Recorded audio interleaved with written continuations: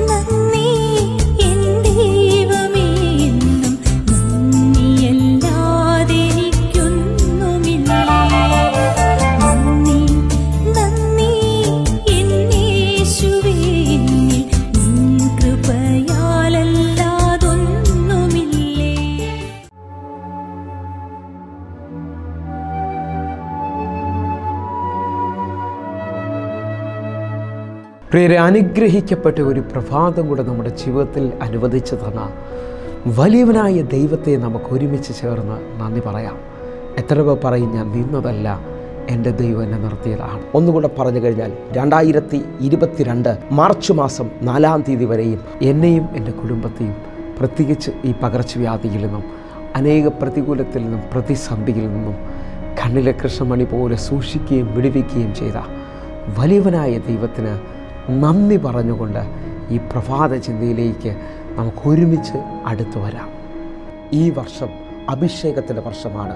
വിശ്വസിക്കുന്ന ഓരോ ദൈവമക്കളും ഈ കാലഘട്ടത്തിൽ നേരിടുന്ന പകർച്ചവ്യാധിയിൽ നിന്നും പ്രതികൂലത്തിൽ നിന്നും എല്ലാം അഭിഷേകത്താൽ വിടുതൽ പ്രാപിക്കാൻ പോവുകയാണ്. നമുക്ക് വിശ്വസിച്ചുകൊണ്ട് ഇന്നത്തെ വചന ചിന്തയിലേക്ക് കടന്നു വരാം. ദൈവം ചെയ്ത ഉപകാരങ്ങളൊന്നും പ്രിയരെ പ്രാരംഭവാക്യത്തിലേക്ക് നൂറ്റിമൂന്നാം സങ്കീർത്തനം അതിന്റെ ഒന്നാമത്തെയും രണ്ടാമത്തെയും വാക്യത്തിലേക്ക്. എൻ മനമേ യഹോവയെ വാഴ്ത്തുക അവന്റെ ഉപകാരങ്ങളൊന്നും മറക്കരുത്. പ്രിയരെ എല്ലാവർക്കും സുപരിചിതമായ വചനമാണ് ഈ പ്രഭാതത്തിൽ നാം ചിന്തിക്കുന്നത്. സാധാരണഗതിയിൽ നാം ചിന്തിച്ചു നോക്കിയാൽ നാം വേഗത്തിൽ മറന്നു പോകുന്ന ഒരു കാര്യമാണ്. ദൈവം നമ്മുടെ ജീവിതത്തിനകത്ത് ചെയ്തിരിക്കുന്ന നന്മകൾ അല്ലെങ്കിൽ ഉപകാരങ്ങൾ. പലപ്പോഴും നമ്മുടെ ജീവിതത്തിനകത്ത് മുമ്പോട്ട് പോകാൻ പറ്റാത്ത അനുഭവത്തിൽ ദൈവം വഴി തുറന്നത് നാം പലപ്പോഴും മറന്നു പോകാറുണ്ട്. കാരണം ഓരോ ദിവസങ്ങൾ കഴിയും തോറും നമ്മൾ പുത്തൻ ആവശ്യങ്ങളുമായിട്ടാണ് ദൈവസന്നിധിയിൽ നിൽക്കുന്നത്. എന്നാൽ അവൻ നടത്തി വിധങ്ങളെക്കുറിച്ച് നാം എപ്പോഴും ഓർക്കുകയും ദൈവത്തിന് മഹത്വം കൊടുക്കുകയും ചെയ്യണം പ്രിയരെ. കാരണം നമുക്ക് ദൈവത്തിന് കൊടുക്കാൻ കഴിയുന്നതിൽ ഏറ്റവും ഉത്തമമായ ഒന്നാണ് പൂർണ ഹൃദയത്തോടെയുള്ള നന്ദി പറച്ചിൽ. എന്തിനു വേണ്ടിയാണ് പ്രിയരെ നാം നന്ദി പറയേണ്ടത്? നൂറ്റി പതിനാറാം സങ്കീർത്തനം. അതിന്റെ ഏഴ് എട്ട് വാക്യങ്ങളിലേക്ക്. എൻ മനമേ നീ വീണ്ടും സ്വസ്ഥമായിരിക്കുക. യഹോവ നിനക്ക് ഉപകാരം ചെയ്തിരിക്കുന്നു. എട്ടാമത്തെ വാക്യം. നീ എന്റെ പ്രാണനെ മരണത്തിൽ നിന്നും എന്റെ കണ്ണിനെ കണ്ണുനീരിൽ നിന്നും എന്റെ കാലിനെ വീഴ്ചയിൽ നിന്നും രക്ഷിച്ചിരിക്കുന്നു. സങ്കീർത്തനക്കാരൻ പറയാണ് എന്തിനു വേണ്ടിയാണ് നാം ദൈവത്തെ സ്തുതിക്കേണ്ടത് എന്ന് ചോദിച്ചാൽ മൂന്ന് കാര്യങ്ങൾ അവിടെ വ്യക്തമായി പറയുകയാണ്. ഒന്ന് എന്റെ പ്രാണനെ മരണത്തിൽ നിന്ന് വിടുവിച്ചു. രണ്ട് എന്റെ കണ്ണിനെ കണ്ണുനീരിൽ നിന്ന് വിടുവിച്ചു. മൂന്ന് എന്റെ കാലിനെ വീഴ്ചയിൽ നിന്ന് വിടുവിച്ചു. ഈ പ്രഭാതത്തിൽ എന്നെ കേൾക്കുന്നവരെ നാം ഒന്ന് തിരിഞ്ഞു നോക്കിയാൽ ഇതേപോലെ നാം വീണു പോകാവുന്ന പല അവസരങ്ങൾ ഉണ്ടായിരുന്നു. ആ രോഗത്തിലും ആ പ്രതികൂലത്തിലും ആ പ്രശ്നത്തിലും നാം മരിച്ചു പോകുമെന്ന് ചിന്തിച്ചിട്ടുണ്ട്. പല രാത്രികളും ഉറങ്ങാതെ കരഞ്ഞ ദിവസങ്ങളുണ്ട്.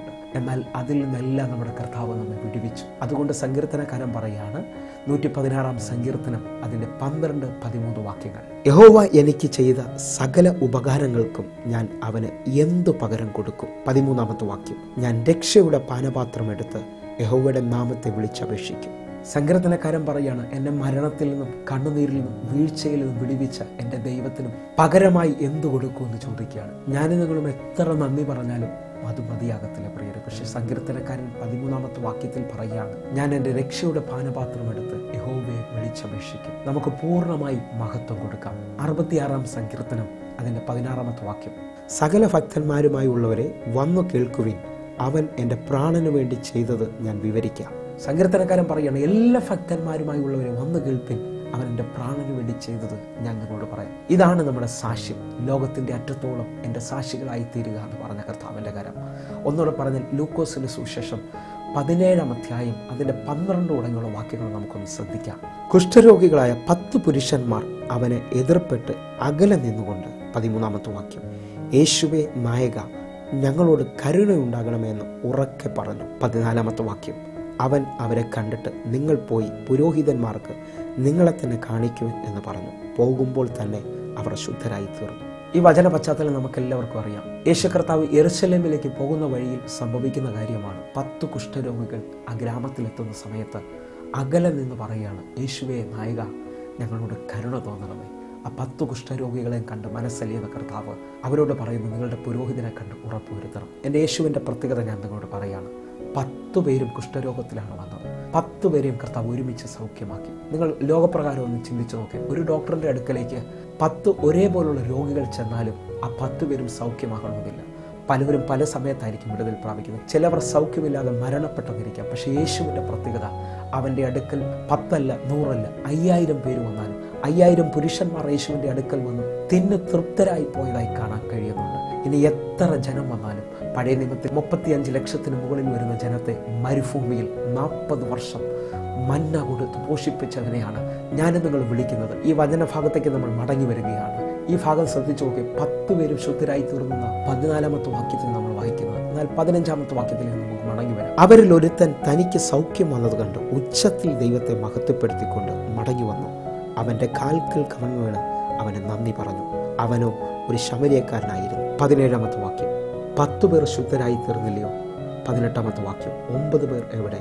ഈ അന്യജാതിക്കാരനല്ലാതെ ദൈവത്തിന് മഹത്വം കൊടുക്കുവാൻ മടങ്ങി വന്നവരായി ആരെയും കാണുന്നില്ലല്ലോ എന്ന് യേശു പറഞ്ഞിട്ട് അവനോട് പത്തൊമ്പതാമത്തെ വാക്യം. എഴുന്നേറ്റ് പോയിക്കൊള്ളുക.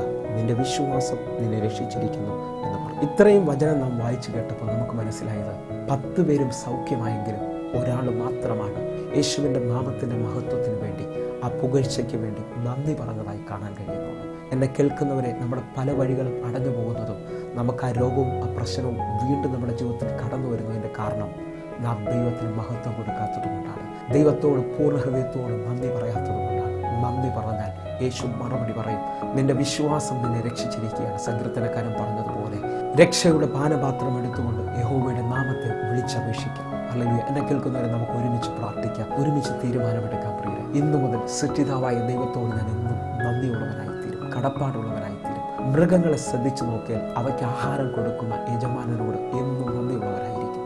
നമുക്ക് കർത്താവിനോട് പറയാം അന്ന് നമ്മൾ ആഹാരം തന്ന പാർപ്പിടം തന്ന വസ്ത്രം തന്ന ഞങ്ങളെ സൗഖ്യമാക്കി.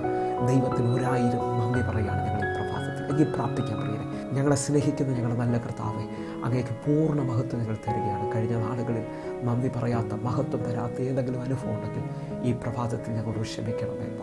ഞങ്ങളുടെ ജീവിതം അങ്ങയുടെ മഹത്വത്തിനുള്ളതാണ്. ലോകത്തിന്റെ അറ്റത്തോളം അങ്ങയുടെ സാക്ഷികളായി തീരുവാൻ ഞങ്ങളെ സഹായിക്കണമേ അപ്പ.